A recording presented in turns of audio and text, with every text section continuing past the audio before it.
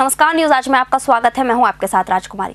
Madhya Pradesh pensioners संघर्ष समन्वय समिति से जुड़े पेंशनर्स ने प्रदेश में सातवां वेतनमान लागू करने की मांग करते हुए प्रदेश भर में धरना प्रदर्शन किया। ग्वालियर में धरने पर बैठे पेंशनर्स ने उनकी मांगे नहीं माने जाने पर अनिश्चितकालीन हड़ताल करने की चेतावनी दी है। मध्य प्रदेश पेंशनर्स संघर्ष समन्वय समिति से जुड़े पेंशनर्स ने प्रदेश में सातवां वेतनमान लागू करने की मांग करते हुए फूलबाग चौराहे पर धरना प्रदर्शन किया। पेंशनर्स ने मध्य प्रदेश सरकार से मांग की है कि उनकी पेंशन में सातवां वेतनमान लागू किया जाए।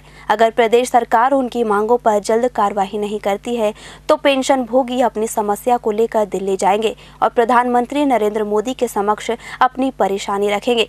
इसके बाद भी अगर कार्यवाही नहीं हुई तो उग्र रूप से पूरे प्रदेश में आंदोलन करेंगे। वेतन आयोग को शिवराज सिंह सरकार ने नकार दिया है। उसके विरोध में हम आज सब लोग जितने पेंशनर, सब धरना देने बैठे हुए हैं। और उनको ज्ञापन जो है दो बजे हमारे प्रशासनिक अधिकारी आएँगे उनको ये ज्ञापन दिया जाएगा। तो अगर नहीं मांगी गई तो निश्चित रूप से हम लोग वहाँ से हम भोपाल से दिल्ली रवाना होंगे और अभी स्टेप बाय स्टेप चल रहे हैं।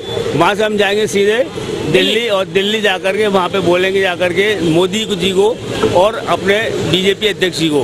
अगर उन्हें नहीं सुनी तो भी अनिश्चितकालीन उदम करेंगे। ग्वालियर से भूपेंद्र साहू की रिपोर्ट न्यूज़ आज। और इसी के साथ मुझे दीजिए इजाज़त और आप देखते रहिए न्यूज़ आज।